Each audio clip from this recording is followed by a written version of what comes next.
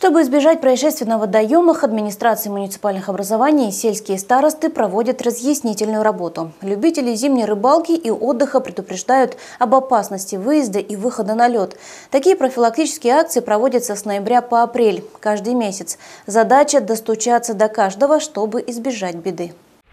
Быстровский сельсовет располагается в акватории Обского водохранилища. Эти места привлекают рыбаков издалека. Когда есть рыба, то здесь могут собраться порядка 400 любителей зимней рыбалки. Происшествия случались, но трагедия была не на территории Скитимского района. Территория Новосибирского района, она граничит. И это было, ну, как бы наспротив нашего поселка Тулы, Тула.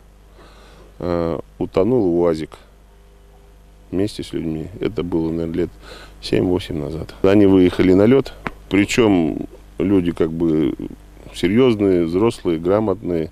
Лед это самое еще толком это самое не застывший был. И вот они ездили, ездили весь день, и все-таки к вечеру потонули. Специалисты сельсовета формируют самомобильные группы, периодически патрулируют свою береговую зону. Смотрят, где появляются съезды на лед. В этих местах делаются заграждения из снега либо шлака. Устанавливаются запрещающие знаки, рыбакам раздают предупреждающие листовки. Когда проходим профилактику противопожарной, по противопожарной безопасности населения, это у нас постоянная, э, как говорится, процедура, и поэтому, соответственно, выдаем и по тонкому льду. Если кто-то подъезжает на машинах, мы оставляем памятки на машине по профилактике, по безопасности на воде, чтобы знали, как вести себя нужно, потому что бывает и тонкий лед э, осенью, весной. Количество рыбаков полностью зависит от улова. Последние два года рыбы здесь мало, и любителей подледного лова заметно убавилось. Меньше стали выезжать на лед. Вместо автомобилей, за выезд на которых можно получить приличный штраф, рыбаки стали часто пользоваться снегоходами и мотособачками. Ближе к весне лед начинает будет делаться иголками, и все это будет это самое проваливаться. А здесь уже будет опасно для людей.